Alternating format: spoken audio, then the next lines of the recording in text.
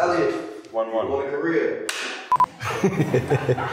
What's up? How you doing? what you doing? Talking about some jewelry. That's new. See you later. What's up, GQ? This is Eliantte, and we're here on the rocks.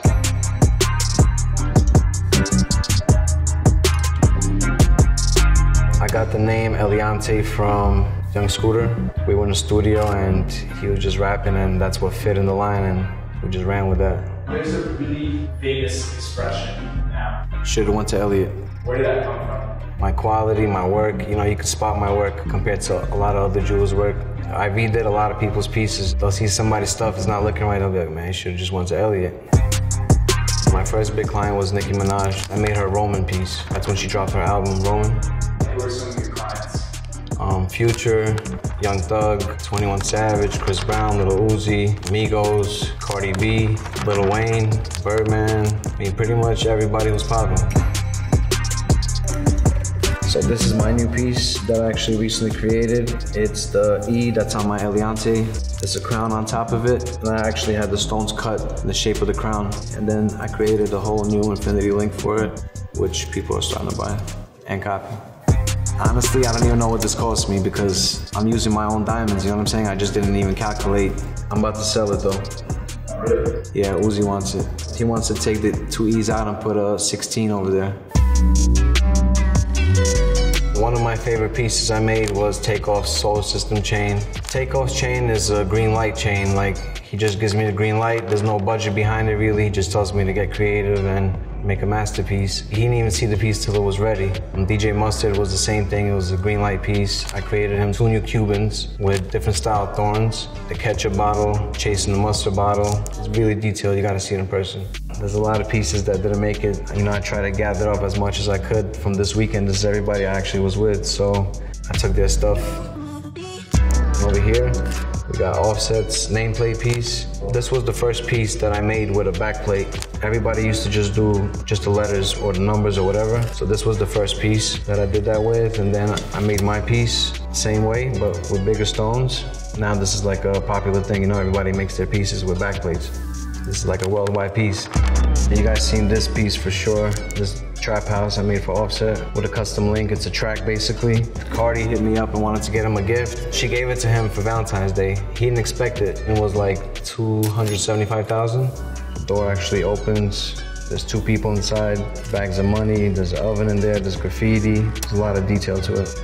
But the chain idea basically came from railroad tracks behind the bando. This is a real place, I guess, where they, you know, handle their business. That's why I had a lot of meaning to Offset. Just a reminder, you know, where he came from. Next to this is just some emerald diamond tennis chains, one carat each. It used to be round diamonds everybody wanted, and now this is like a new wave, emerald diamonds. They got like illusion set baguette chains that's popular too. These are 300 each. Are those uh, for sale? Or are they- Yeah, if you're watching, you want one, 300 a piece. This is Metro Boomin's piece. This is another green light piece. He had no budget. He just said, make me a crazy CEO Boominati piece. That's what it says, Boominati CEO. All emerald cut diamonds. Each diamond is set like a brick in a real pyramid. And then he got a five carat blue Marquise diamond, GIA certified, 180,000. He had a different Boominati CEO piece, but that was for that time in his career. So you guys seen the other Boominati piece previously, but this is the new one. Knew Metro since like 2013, 14. He came a really long way. I remember his first watch was like a two-tone Rolex. It was like $8,000. And now he got probably like $1 million, I'd say, in watches. And then probably, yeah, we ain't gotta talk about these numbers. But he got some stuff. I take this call? Yeah. It's gonna. Yo, Yo, we're doing an interview. you doing interview? Yeah, that Gunna piece one on one, y'all. yeah, that Gunna piece one on one. Call me when you brother. Alright, bro. So Gunna piece, another green light piece. We originally started with a different design and concept. As I was going along with the chain, I just got some more ideas, and he just told me green light. Is this one of your favorite chains made? Yeah, for sure. Any green light piece is one of my favorite. This chain was like about 300,000. It was a lot of work. Like this was all handmade. This is not just a CAD that was printed out. So I got two snakes on this side, two snakes on this side. Blue diamond, about 1.5 carats, heart shape. And then they got the raindrops, pear shapes just dripping down. You know, that's his thing, drip or drown. How did you come up with the snakes popping out? Honestly, I don't even know. I was just chilling. I was high. this is a camo bracelet, Chris Brown's. He actually just gave it to me to get clean, so I got it right here. He started doing the camo on the Miami Cuba link with yellow, white, blue, and pink. So he got a whole necklace matching with it. Uh, the bracelet was like about 50,000, and then he got a necklace. It was about 150. It takes a lot of time. I only have one specific diamond setter who could actually do the camo, so just one bracelet alone takes him like a week. This is some new pieces that we're finishing up right now. This is for future. So basically this is like his first original FBG piece that I ever made him, but we just made it a little bit more 3D and made him a little bigger for his artist. About five total he got. We made all of them different. He already has one of them that's all white. This one is white and pink, rose and white, all rose. And then this one is all yellow. And these are about 35,000 a piece. And then they got Cuban chains with them too. The back says Brothers for Life and then Eliantte underneath. The Marilyn Manson piece with a Mickey Mouse hat and a 16 in the center. I didn't design this piece. Uzi got that like in the beginning of his career. Originally, a different jeweler made it, so he felt like he needed to get an all white one. That one was black and white. I just made him a whole new one. Um, this piece was about 55,000. What other pieces have you done for Uzi? I made him an actual little Uzi, a gun. I made him a shark tooth, a bunch of Cuban links. I made him a bunch of diamond chains. I made his upside down cross that's actually getting rebuilt right now. Yeah, I pretty much did most of his stuff. He got a lot of new stuff on the way too. This is the Highbridge pieces. This is A Boogie's personal chain and this is QP's chain. QP is one of the owners of the label. This one's about 150, this one's 50. So this was made for Kodak Black. It says Project Baby. Me and him spoke about this like when he first started popping out. We were talking about making a pacifier chain, and then recently he called me. He was like, "Bro, let's make that pacifier chain." But he wanted it like with blue diamonds and white.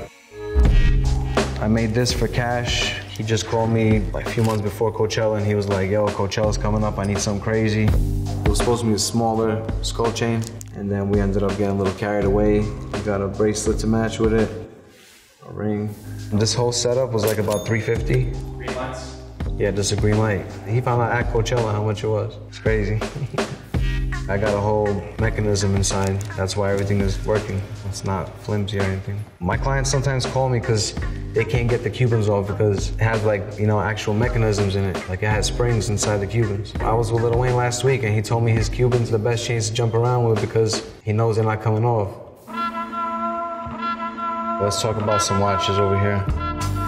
We got a rose gold Patek 5711. This guy is worth about 110,000 with no diamonds right now. I style, they're going for like about 150.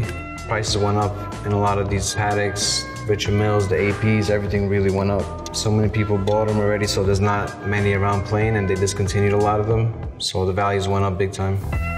And this is I style Richard Mille. I just iced one out for fun one day, and Future bought it. Everybody started copying the way we did his watch with the baguettes on the side, and the pave one. The cheapest one is 100,000, if you could even find one right now for that price, but about 200,000 to 300,000 is what they're going for. This right here is a stainless steel skeleton. This is one of the rarest APs. The first watch I ever made like this was for 21 Savage. He wanted a watch that nobody had and nobody even dared to ice out one of these because they're so valuable. We created a whole new setting on his watch. It was the crushed honeycomb setting. It just went worldwide. Everybody started doing the same setting. Right now, this watch is going for about 95,000 plain with no diamonds. So the retail on this is 45,000. Then this is the same watch, just in rose gold also went up in value. It's about 120,000 right now plain. Then this is a baguette watch, also a skeleton rose gold. This watch costs a lot of money. It takes a lot of time to make it. Each stone has to get cut perfectly. There's no gaps in any of my watches. This is the Patek, also a very popular watch. They're going for like about 150 right now. Same situation, discontinued. All right, guys, I gotta get back to work. Thanks for checking out these pieces, and I'll be seeing you guys again.